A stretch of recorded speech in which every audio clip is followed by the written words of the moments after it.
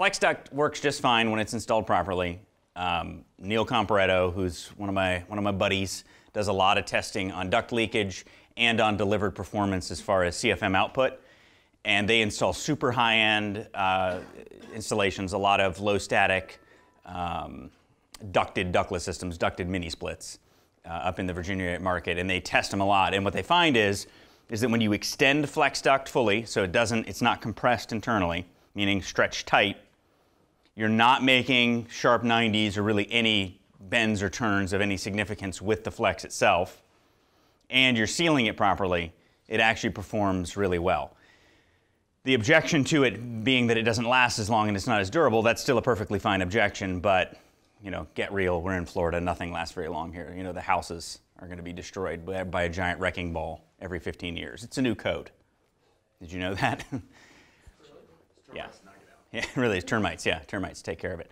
Um, so anyway, when we're running a flex duct, if you can think of it in terms of like a pipe with water flowing through it, I think this is a really good uh, analogy. Again, credit where credit's due. Michael Housh always says this. When you think about a pipe with water running through it, if you make turns or bends in the pipe, what's the water going to do inside the pipe? What's going to happen? Going to have turbulence, right? You're just going to create turbulence. So when you have fittings, when you have changes in size, when you have turns and curves, you're going to get turbulence inside a, a pipe. And both air and water are both a fluid, and so they behave in the same way. They both behave according to the laws of um, fluid dynamics. So when you're running a duct, if you do anything weird with it, or if you compress it so those ribs are impinging on the ductwork, it creates turbulence along the side. And that turbulence creates resistance to airflow. So what we want to do when we're installing a duct system, and it doesn't matter what material we're using, we want it to be as straight as possible. We want to reduce turbulence. When we make bends, we want them to be nice, gentle bends, right, where possible, or at least, at the very minimum, have minimal uh, impingement on the bend. If you imagine a, a piece of flex and you take a piece of flex and you turn it on a 90, that internal corner there is very rough as those ribs kind of all come together, and so that creates a lot of turbulence. Um, but even if you were going to be running, you know, ductboard or uh, metal or whatever, you wouldn't want a bunch of turns and curves and that sort of thing. So it's just common sense. And so when we design a duct system or when we're installing a duct, for example, if you take a, you know, a duct off of the side of a plenum and you immediately curve it around in order to make it fit somewhere, that radius that you just made is going to create a lot of turbulence. So let's start there. What could you do instead? Let's say you have a really tight supply plenum in an attic. You know, it's coming right near the corner of the, of the roof.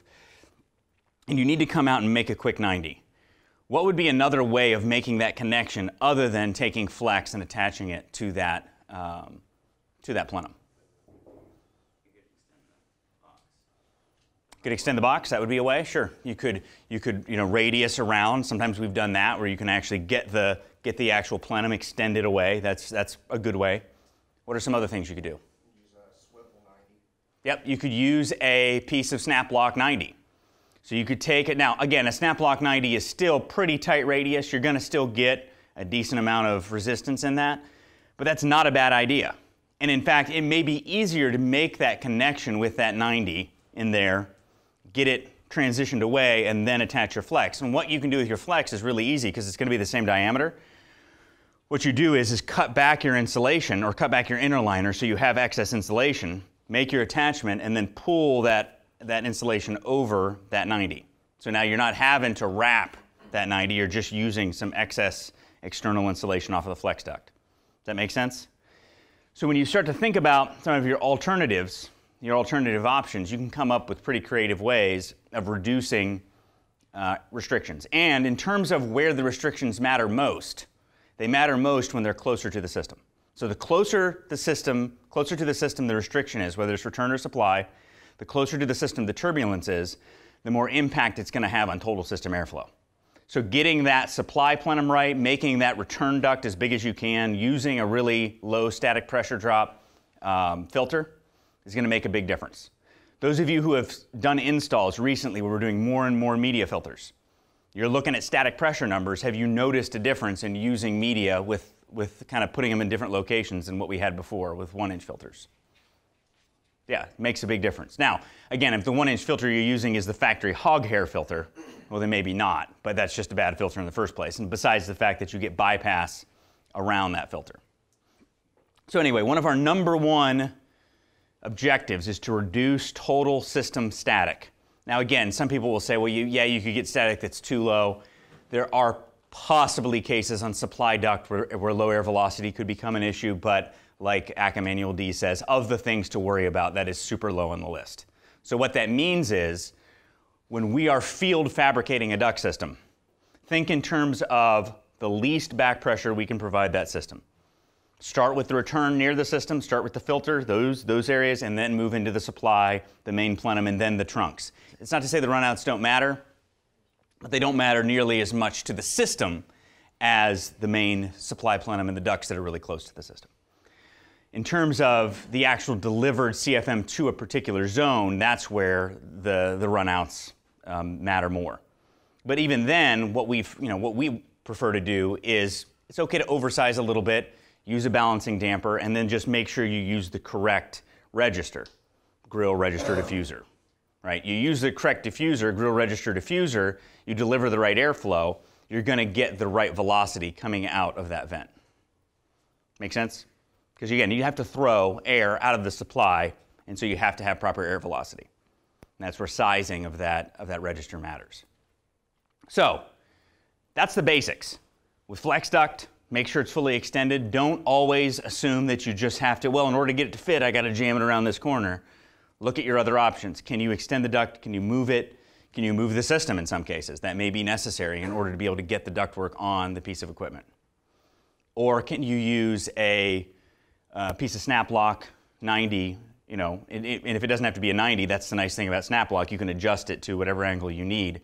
Now make sure if you are using any hard fittings in addition to flex, because you can do that, but make sure you're supporting it because a hard fitting has a little more weight to it, right? And it's going to be likely to pull out of the duct. So when you're attaching that to a tab collar, you still have to make sure you seal it.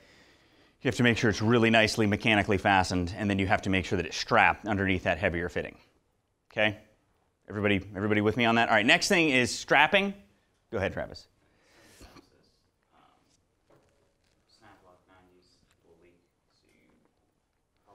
Yeah. Yeah, uh, Travis said sometimes the snap lock 90s will leak. When you're dealing with snap lock and not spiral, I mean, again, spiral is a whole different animal.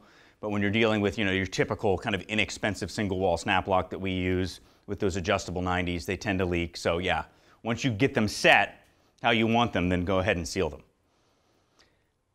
When it comes to strapping of ductwork, this is an area that we don't think enough about it. When we are doing changeouts, I don't know if you all know this, but we are required by code to inspect every existing duct system. Leakage, strapping are the two biggest things that we need to be inspecting. If you have ducts that are being supported across the ceiling joists, across the trusses, they're kind of doing this, that's not acceptable strapping. They have to be strapped so that way there's tension on the duct. A lot of times, you know, 10 years ago, they were you know, doing explosion in the duct factory style duct systems. You just take your 25 foot of flex, you just throw it. If it's 10 feet, it's still 25 feet, right? You see that sometimes. And in those cases, it's going to be good to reduce the length of that duct and make it so that it's nice and it's nice and tight. I mean, again, you don't want it banjo string tight so it's wanting to pull off the fitting, but you want it to be fully extended so that way that internal accordion is expanded and you don't get that additional turbulence because it does make a difference. You can test it sometime if you're measuring CFM. You have somebody with a hood and just take a piece of flex and just you know put some bends in it. You'll notice that it does affect the amount of airflow that that duct uh, produces because of the back pressure that's produced. So, in terms of strapping, every four feet is the standard. So, four inch, I mean, four foot centers. Whenever you are strapping flex duct, you want to use an inch and a half wide or wider strap. And that's pretty much true of everything that we do, so that way it has more surface area. But keep in mind that the more surface area that we get, the less likely you are to collapse the duct. And so that's why it has to be done regularly, so that way you don't have any one support bearing too much weight, because that's when you get that sag. There's a lot in the, um, what is it called? The, uh, the Duct Council, Flexible Duct Council, FDC, I think is what it is. Um, they have a guide there that you can look at that's got a lot of really good specific information. But again, I know most of you aren't going to be thinking about the radius bend and how much is too much and all that, which is why I would much rather you just visualize it as water and think, how do I reduce the turbulence in this duct system? And especially when we're going out to do a new install, our goal is not only to put in a nice new piece of equipment, but wherever possible to improve that duct system. And these are some really low pieces of low hanging fruit. In addition to improving your return, improving your filtration, those things close to the system, look at that entire distributed duct system. In terms of sealing ducts, so you go into an existing house that has a bunch of flex and board in it, like pretty much every house has in Florida. What are you looking for when it comes to saying, all right, this needs to be sealed? What, is your, what are your visual cues? Obvious tears. Tears? What else? Sweating, discoloration. Sweating, discoloration. Um, another thing that a lot of people look for is does it have mastic on the outside? But truthfully, the whole mastic on the outside thing is really just a shortcut way that inspectors in our state have come to view duct sealing. It really isn't a standard. In fact, if you look at the Flex Duct Council's two ways of attaching flex duct, neither of them include mastic on the outside. Now, am I telling you not to use mastic on the outside? No, because I don't want to fail inspections, right? But mastic on the outside of the duct is not how you seal a flex duct. So I just want to get that so we're all clear on that. It's not that it's pointless because anything that helps you pass inspections is still has a point, right? But that's not what results in a flex duct leaking. Where does the flex duct leak from? Leak from? It leaks from the connection where the internal liner attaches to the collar. That's one place, and also where the collar attaches in to the duct board. So what do we do to seal the collar to the duct board? When you cut the hole, you paint around the hole with mastic and when you set the collar in. That does a really good job because then when you, when you tab over that collar, you get a really nice seal, that collar edge, because again, those, those tabs are providing that, that holding force for the mastic to dry. So that's a good one. The most controversial part of the process is the next part, which is that internal liner to the tab collar. How do you make that connection? Mastic. Travis says mastic. Anyone else? Grant said mastic too. You didn't say mastic. I said Grant. Grant, your name isn't Travis. You look like a Travis, though, you know? Wow. Oh, wow. That was, this is getting dark in here quick. Grant says mastic. What does Travis say?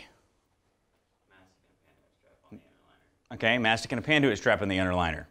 Any other suggestions? Tape and a panduit on the inner liner. Okay, I was waiting for that one. Any other suggestions? Panduit on the inner liner. Ayo.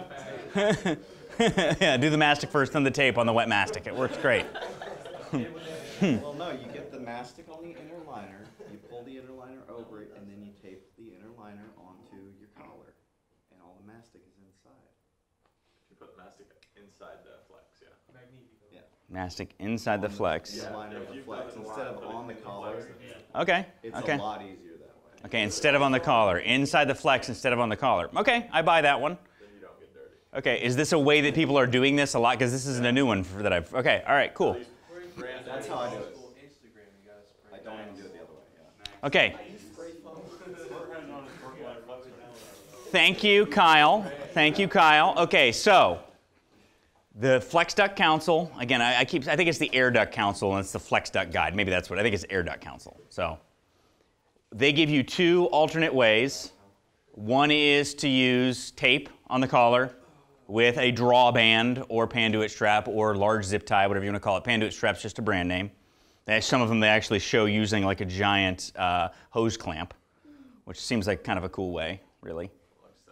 A little excessive, maybe, but you know, okay. Hey, that thing's not coming off. Yeah, ain't coming off. Um, so all of the, all the, both of their methods show the panduit. So let's just agree we're going to use the panduit. Okay. All right. So panduit on the inside. That one's good. Mastic or tape is allowable. Now the downside, of course, with mastic is that mastic has to dry. That's the downside with mastic. And if you're going to be doing a job where you're going to be running cold air through this thing really soon, that's where mastic becomes more of a problem because now you're pressurizing it. It's more likely that it's going to blow out around the wet mastic. You're going to get condensation. That's more of the challenge. So I am an advocate of the mastic method, especially when you are in a, situation where you can allow it to dry. In new construction, you know, big project, come back the next day. I like that way. And ideally, when you're using mastic on the inside, again, I'm just telling you ideally. So we're talking in a perfect world here.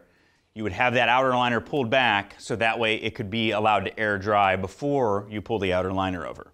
That would be an ideal circumstance. Okay? But to Kyle's point, cleaning the fittings with alcohol is really helpful if you are going to use any type of tape. In fact, it's helpful even with mastic. Because a lot of these fittings, because some of you will say, well, yeah, but if I don't get it wet, I don't sweat on it, well, that's not really it. These fittings have an oil on them from the factory. So taking some rubbing alcohol on a rag, it'd probably be better put it in a spritz bottle. They actually sell them that way at the drugstore. You can buy isopropyl alcohol. Some people say denatured alcohol. I don't care what kind of alcohol you use, other than it's not the drinking kind, because that's not allowed to be in your truck. okay, go ahead and try that one. um, so you spritz it around, then just wipe it down. That will help the attachment of all types of uh, methods that you use, but especially with the tape method.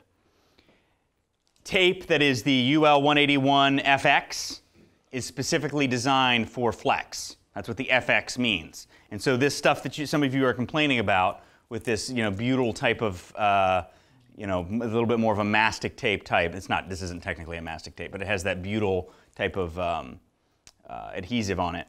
Um, I think it works well, but again, I'm not going to dictate to you specifically what tape you use for a job, so long as you're making sure that it is fully attached and you're squeegeeing it in place.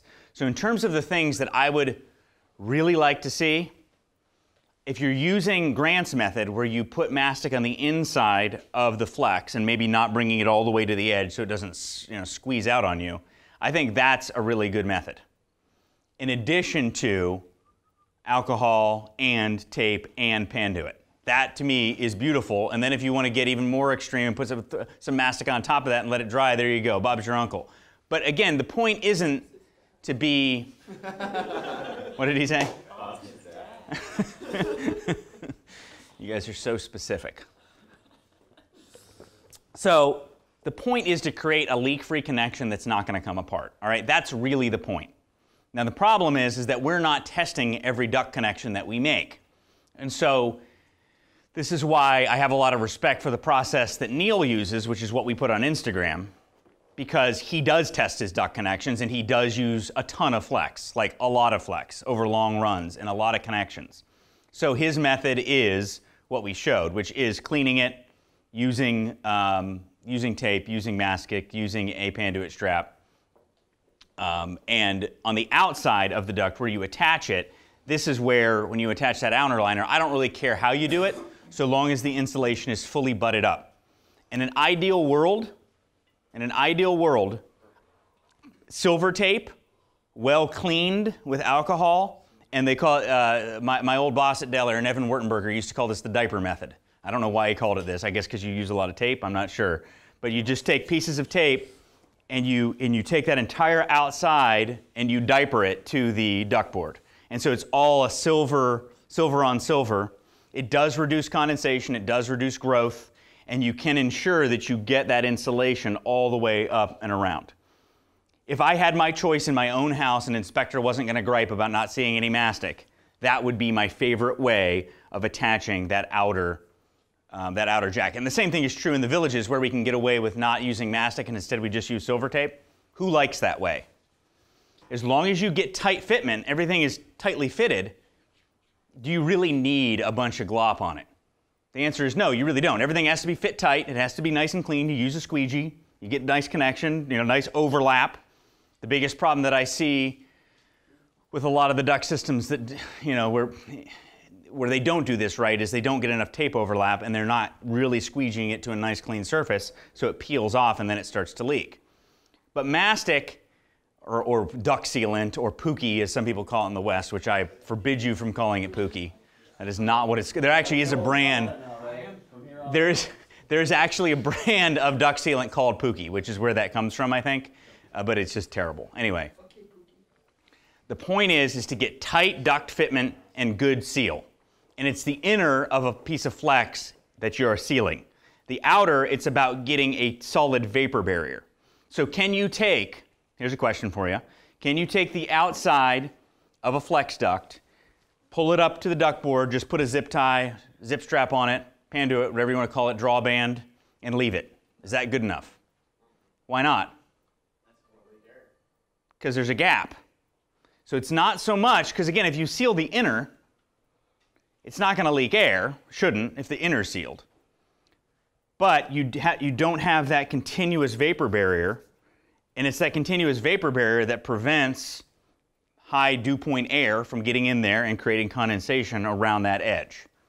So, what did I say? Between the two. Correct, correct. If you if air can get in bet- from that outer into the inner where it attaches, you know, where those two fit together, then it can create condensation in there regardless of whether or not there's an air seal. You don't need an air leak to have condensation. I mean, we all know this. You could just have poor insulation, poor vapor barrier. And so we need to have insulation intact all the way to the ductboard. Where the flex attaches to the ductboard, we need to have insulation intact, and we need to have that outer vapor barrier intact. Now we're using mastic to fill in that gap, right? But mastic really isn't the ideal answer because you could have this gap that you glop mastic in, but you actually don't have the insulation pushed all the way up against. So again, in my perfect world, you wouldn't even be using a Panduit on the outside. The problem is with our method um, without using tape, if you don't put a Panduit on the outside, you've got nothing holding that outer jacket, and while that mastic is drying, it will just pull away.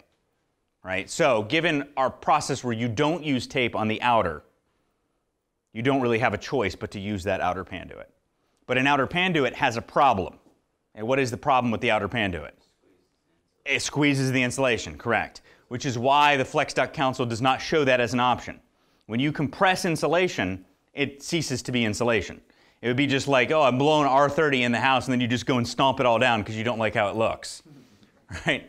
It doesn't, it doesn't work. Get it all flat, right, right? Right. You need to have air and insulation in order for it to insulate. And so when you smash down that outer insulation of flex duct, you reduce its R value. And when you do that, you can create sweating, especially in an R market where even regular old ducts just running through the attic want to sweat because of how high our dew points are.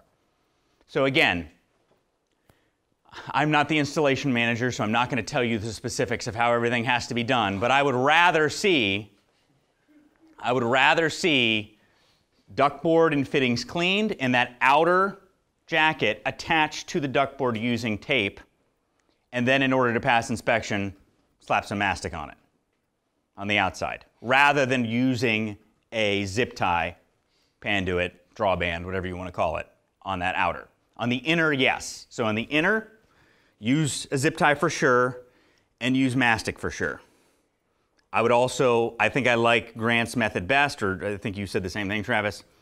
You have some mastic on the inside, then put it, pull it over, zip tie, or first first tape. I would still like to see you use tape, and then a zip tie, and then your outer taped and then sealed, just so that way the inspectors don't gripe at you. They don't require it in the villages. Some counties don't require it. The villages, does, in fact, the villages doesn't want to see it, They right? ta- Yeah, they take it. Right. Which is weird. But again, it's not weird because again, they're going off of what the manufacturer's specifications say.